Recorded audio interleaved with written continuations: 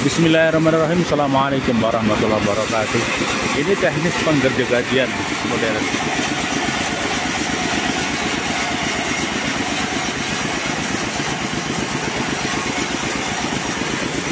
Ini konsep pemotongan kayu dan alatnya dibawa ke kebun ya. Jadi lebih praktis ada rodanya. Praktis yang dibu yang dikomandani Mas Muslik yang ada di Sragen.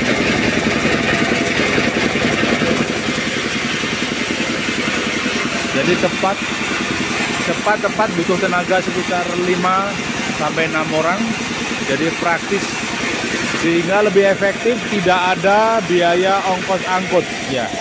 Tidak biaya tidak ada biaya ongkos angkut. Jadi konsepnya konsep borongan ya.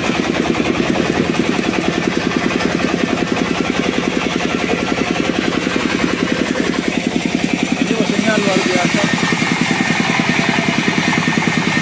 Praktis efektif.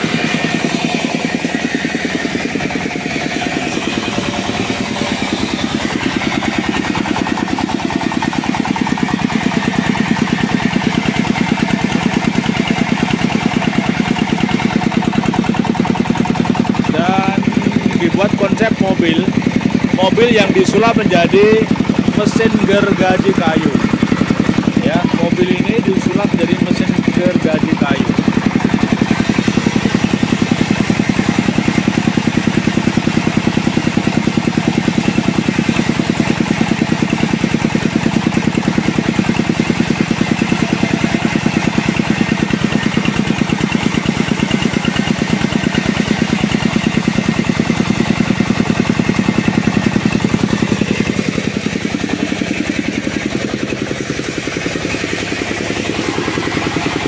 Jadi ini kebun, ada kayu jati, ada kayu mauni, kemudian jati ini disrekel.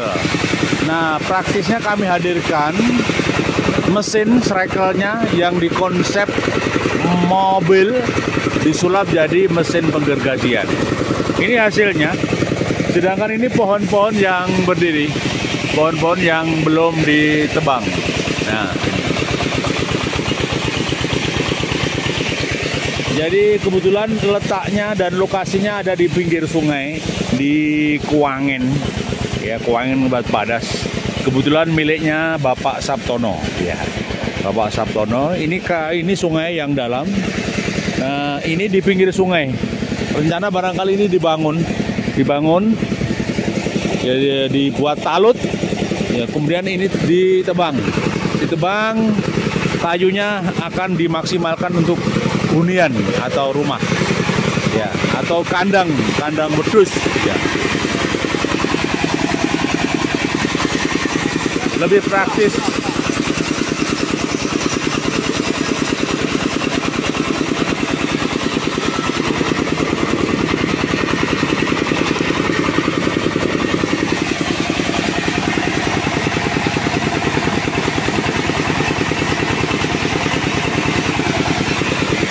Seber, sebenarnya mudah sederhana cuman harus pada ahlinya.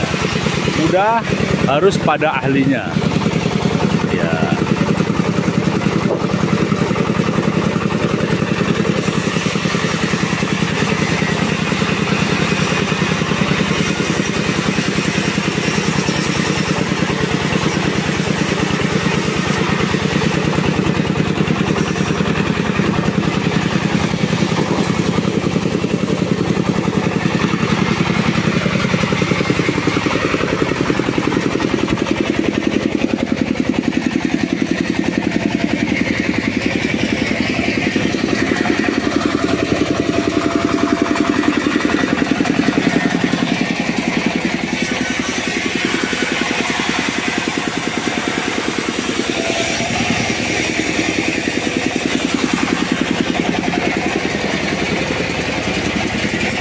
Ini sungai yang kebetulan kering di musim kemarau.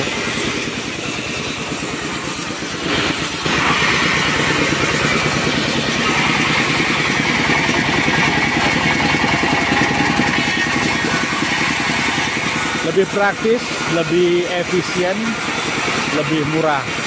Jadi kalau diperhitungkan efisien karena mobil penggergajiannya masuk di kebun lokasi. Kalau mesin gergajinya harus dihadirkan butuh energi khusus seperti ini ya. Tapi kalau misalnya datang ke tempat penggergajian butuh tenaga angkot dan tenaga dua kali. Kalau ini praktis satu kali ya, praktis satu kali jadi. Tinggal desain ukurannya yang ditentukan, ukurannya ditentukan. Inilah yang kami maksudkan pentingnya teknologi tepat guna. Teknologi tepat guna itu memudahkan ya masyarakat untuk melakukan aplikasi kegiatan.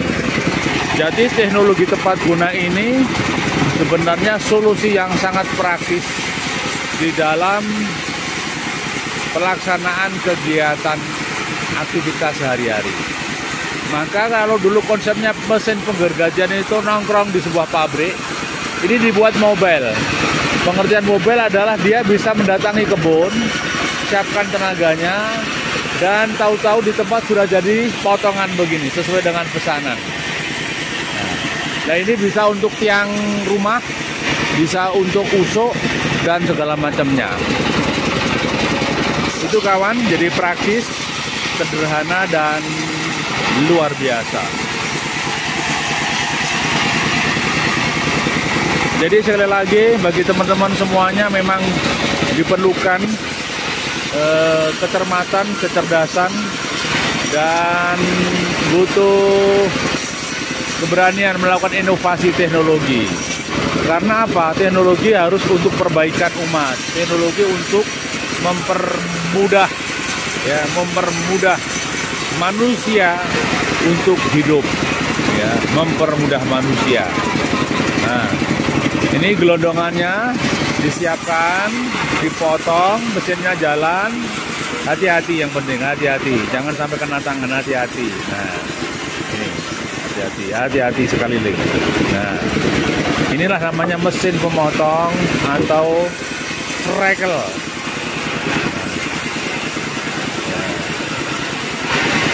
minimal butuh 4-5 orang ya. Nah ini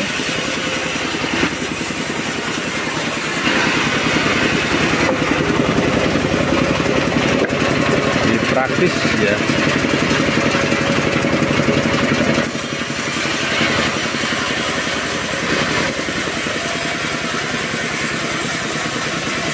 ya. Ahlinya ya kalau nggak ahlinya juga sulit ya. Bagaimana bisa lurus kalau nggak ahlinya? Nah, sangat mantul. Ini kalau tidak pakarnya tidak bisa